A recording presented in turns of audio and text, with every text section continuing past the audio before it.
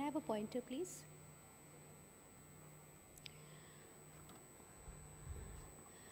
A request to all the people who are sitting at the back.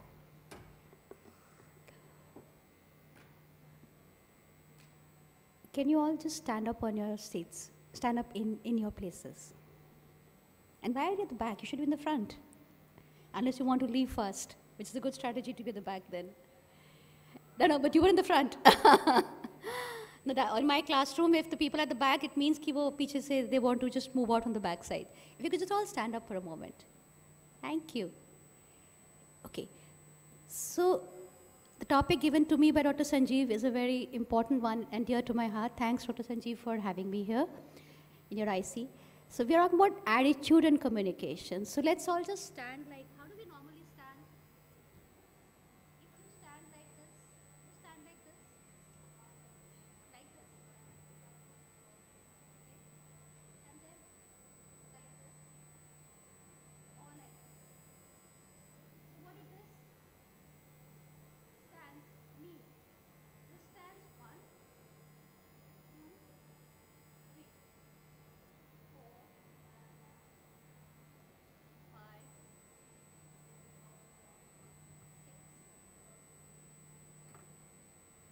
What am I trying to show you? Please, please sit down. Thanks for your cooperation. What am I trying to show you? I mean, I'm- I need some, some interaction. I'm talking, we're talking to an audience, not to sleeping people. Ma'am, can you have a mic, please, here? Because we have 15 minutes now, right? So I just have 13 now left. Mic, please. Mic de do, madam ko. What was I trying to show you, ma'am? a, a different um, posture, Posture. Yeah, So what is the posture reflecting? attitude or um, personal attitude. So is posture reflecting attitude? Anything else is reflecting attitude?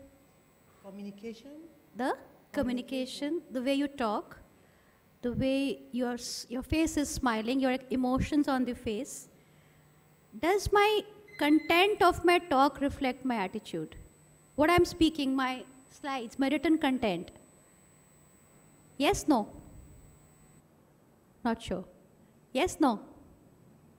Usually no. Okay? So what I want to show you by this small pantomime which I did was that it is what you don't speak which is more important than what you speak. And this is the whole ball game in whether you are communicating with your peers, with your students, with your teachers, and ultimately with your patients. So communication is a way of how you portray your content. It's not what you speak actually. So having said that, set of values, behaviors, relationships, and attitudes is the basis of contract of health workers with community. And this is the definition of professionalism in Accreditation Council for Graduate Medical Ed- Education. Okay? So attitude is a part and parcel of your professional requirement. Your skill set in ophthalmology is just not learning how to do a cataract surgery, how to see patients, how to diagnose glaucoma, how to treat retinal detachment. It's also how to interact with patients and attitude, behavior, relationships is a part of that professional etiquette which you need to take with you.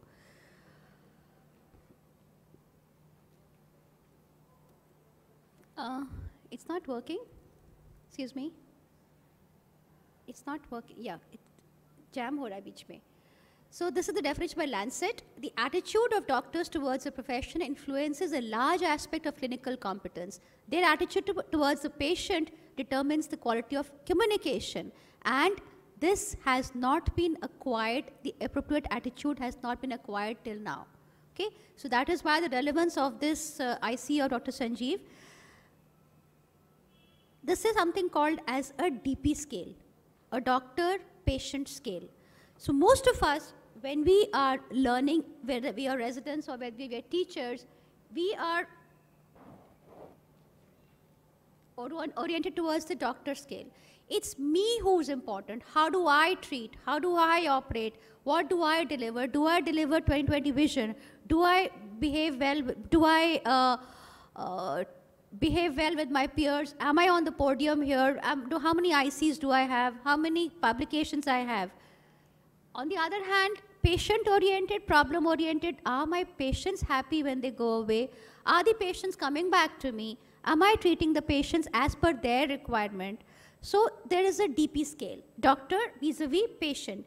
And more you are towards the P side of the scale, more happy your patient will be, more happy your professional environment will be if you reduce the D out to the P. Okay. Any idea what these pictures are? These are pictures painted by Pablo Picasso when he was 15 years old. This is his concept at that age of a doctor, of a patient, of a nurse who's holding the patient's child with her so that she can take care of the patient. And this is the team, doctor patient, doctor nurse team, which was an impression in a small child when he painted this fabulous picture. Okay. This is a self-portrait by Goya of his doctor, of what he wants his doctor to be like for him.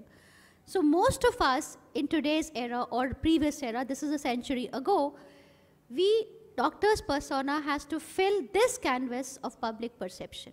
Public perceives you like this. Public wants to see you like this. Public doesn't want to see you in a attitude of, okay, I am the best and you come to me, don't come to me, I treat well. That is the whole problem of the conflict of doctor-patient conflict genesis is because public wants to see you like this and we don't behave like this. Okay. Why don't we behave like this? Because we are ultimately surgeons. Okay.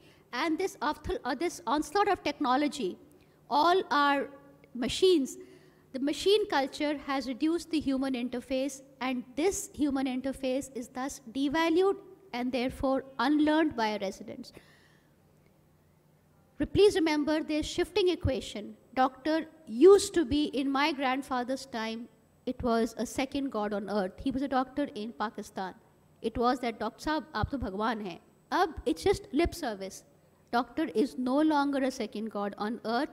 And this reason of this conflict is so much that even the court, when they've given a judgment, they have given a recent judgment, has compensated for 22.5 million just for lack of consent by a patient. So please remember, this is the latest article in IGO, the make-believe world where we imagine ourselves to be practicing a noble profession. Patients don't perceive us like that anymore, and neither does the justice makers, neither does a court perceive us like that. So keeping this in mind, we have to safeguard ourselves as doctors. Stop the violence against doctors is the theme nowadays. And how can we stop it? The way to do is is wear a kavach. You heard of the story of Mahabharat when Karan has a kavach? Anybody who is familiar with Hindu mythology, he was born with a armor which grew with him. And nobody could defeat him till he had that. He was supposed to be very big giver. He gave away his kavach because a Brahmin asked for it. And the Brahmin was no, no, no, no more than Lord Indra disguised because Lord Indra wanted Arjun to win the war because Arjun was his son. And Karan gave away his kavach. And that is the mistake he made, and that's what killed him. So, what is our kavach as doctors? It is communication skills and attitude. So, we have to, as teachers, we have to facilitate that attitude, and you, as residents, have to learn that. And this is so important that MCI now has come up with the AETCOM module which says attitude, communication, patient-centered to be the new curriculum of MCI uh, for undergraduates. It's going to translate into postgraduates too. Having said that, we are all teachers sitting here on the dais and some of you there, and you are mostly all residents When you join residency or when you join medical college, you are full of idealism. You want a noble profession. I am becoming a doctor. Your family is so happy. Your friends are so happy कि आप तो doctor बन गए आप तो इतने बड़े profession में आ गए what happens over time we unlearn that because we see aggression we see competitiveness we unlearn it that is why a school child greta thunberg is telling the, the leaders about climate change and they are not aware of it. Therefore, as teachers, we have to realize that maybe we are responsible for unlearning of our students of nobility ideals which they came up with. So to come back to the topic of communication, how to make it effective, there are three ways of communication. One is verbal, one I just showed you is a non-verbal, which includes the posture, the tone, the, the voice. Okay, and that is the, the barriers with these are a visual communication like this would transcend all barriers. So what you show the students, so my first key is what you show the students, that is the best way to facilitate learning of communication skills by the students and not what you speak. So any gesture, any, any way you are dealing with patients, the students are watching us when we are seeing patients. So our visual clues are the most effective learning and as it has been noted before, voice and words have very limited roles. Least role is words, next is voice, and 55% of communication is by the body language, and that's the importance of emoticons in your WhatsApp. Okay, we all use emoticons because we are very, very cognizant of the fact that emotions have a, these as a visual clues are the best. Just to tell you about the body language, this gentleman, he's a psychologist, he had polio as a teenager and he was stuck in bed. He couldn't move. He was listening to his parents talking, his sisters talking about his disease because they were scared that he would die. And this child who was paralyzed in bed was just listening. He observed body language, he learned to read, and when he grew up, he, he recovered, he grew up. He is the originator of body language, so Ericksonian language. And this body language is very much epitomized by Charlie Chaplin, who did not use any words but how to speak in tones, in gestures, and in clues, cues of the face. Verbal communication. These two pictures will tell you miles about what this child is feeling and what this patient is, is showing you. This patient said, मेरे लिए एक चश्मा बहुत है. I don't need a glass because I'm very comfortable with this broken glasses. I don't have that requirement. So read the patient's body language and not and this is what is important. How to facilitate the teaching and learning methods which we need to adopt are cine education, movies like Grey's Anatomy, all of you must have watched. So movies are a very powerful way of us teachers teaching the students how to have the right attitude and communication skills.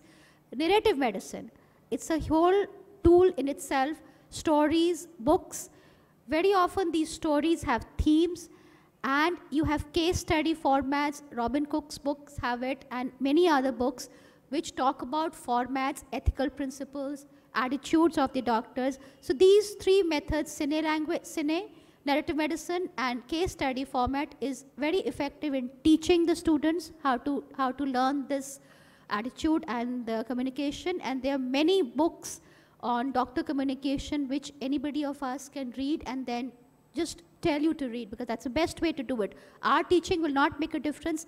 Our telling you to read and then discussing that book will make more of a difference. This very beautiful book on communicate, care, and cure by a doctor talks about screenplays and screenwriting.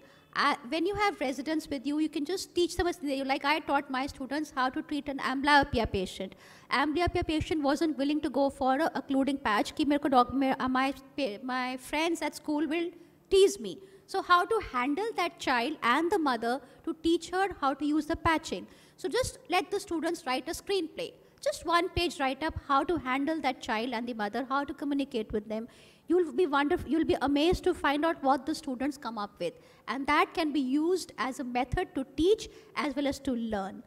So this is what I have used in my setup I read, I've done a script writing and then I've made the students do the role play.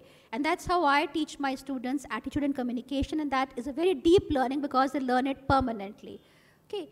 Then the other method is reflection. Any idea what is reflection?